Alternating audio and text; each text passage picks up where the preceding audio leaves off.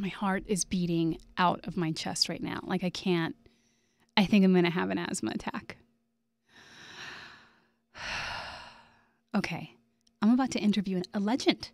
He's a legend.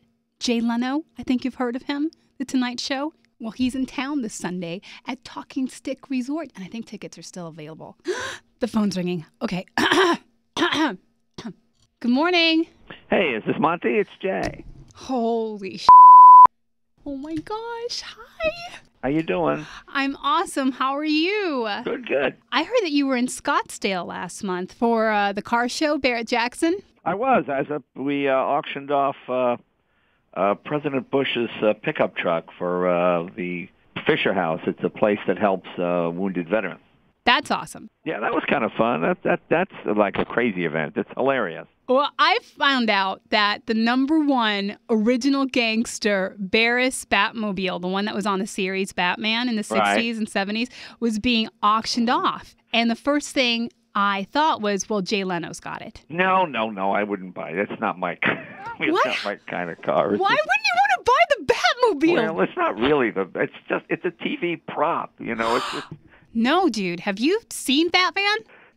it's not it's not really a Batmobile. I mean, the button that says laser ray gun it doesn't have a laser ray gun.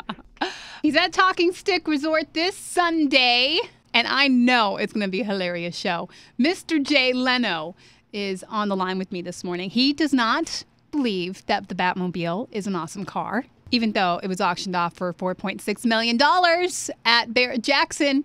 You know, I mean, I guess if you, if you're buying it as a piece of Hollywood history, but in terms of being a car, it's not like a Duesenberg or an old Alfa Romeo or something like that. Um, I don't know what you're saying to me. The difference between having a, a painting by Michelangelo and the painting that was hanging on the coffee shop in the TV show Friends, which one is worth more? You know, it depends on on your perspective. Well, you're not going to ruin Batman for me. No, I won't remember Batman. And you're too young to remember Batman anyway. What are you talking about? I'm 37. I'm old enough. Thank you. But you don't remember the TV show. Yeah, I used to watch a TV show. It's how I learned how to speak English. Right. So you just say kaboom and bow. No, I'm Puerto Rican, and we watched Donahue and Scooby Doo and Batman. Oh, I've been to Puerto Rico many times. That's a great place. Thank you. Yeah, that's fine. I love the rain. I remember going there, and it was raining on this side of the street, and it was bright sun on the other side of the street, and it was like it was literally a wall right where that where the rainforest is. The rain was coming down in like out of a hose, and if you just stepped 18 inches to the to the other side, it was sunny. It was always one of the most amazing things to me. Yeah, it explains a lot about Puerto Rican women. Huh? Yeah, well, yeah, yeah. This is, you want to keep them on the wet side, Ew! but in a good way. oh my God. That's awful. Okay. Jay Leno is in town this Sunday at Talking Stick Resort. I don't know if there's tickets still available. I think maybe like three. so if you want some, go get them right now.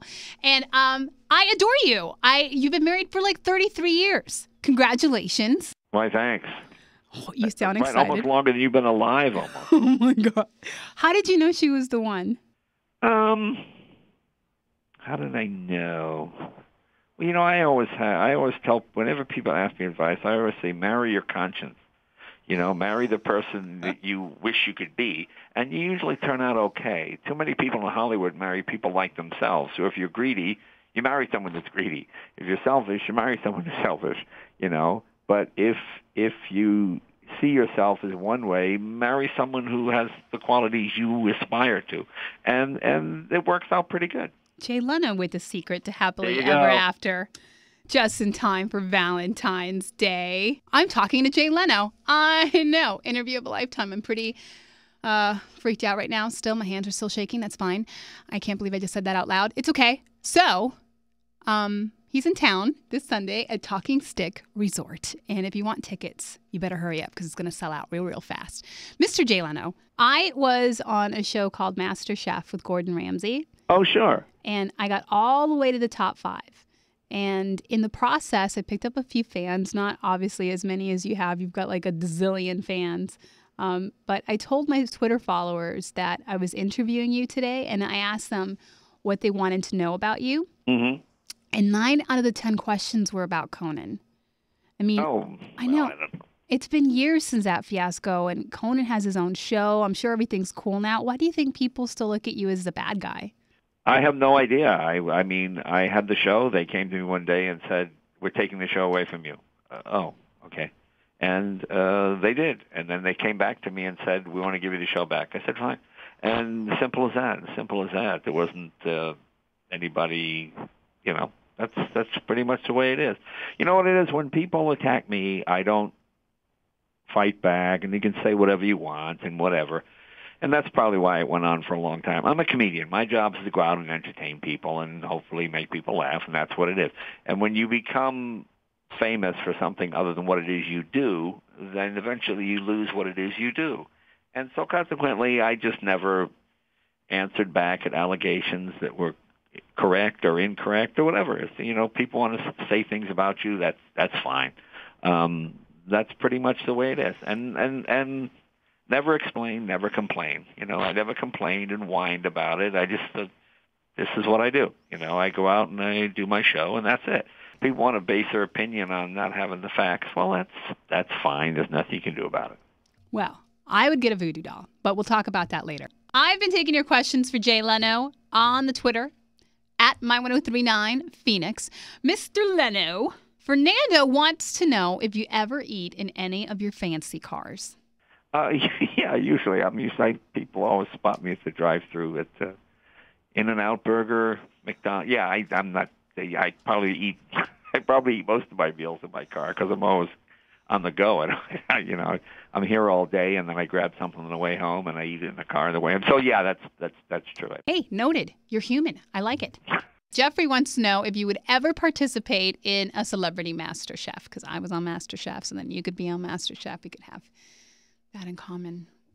No, I'm not real. I I cook a few things, but I'm not really a very good cook. No, I'm not a very good cook. What do you cook? Uh, oh, my Uncle Louie chicken wings are fantastic with marinara sauce. Everybody does buffalo wings wrong. They make these awful sauces, and it's terrible.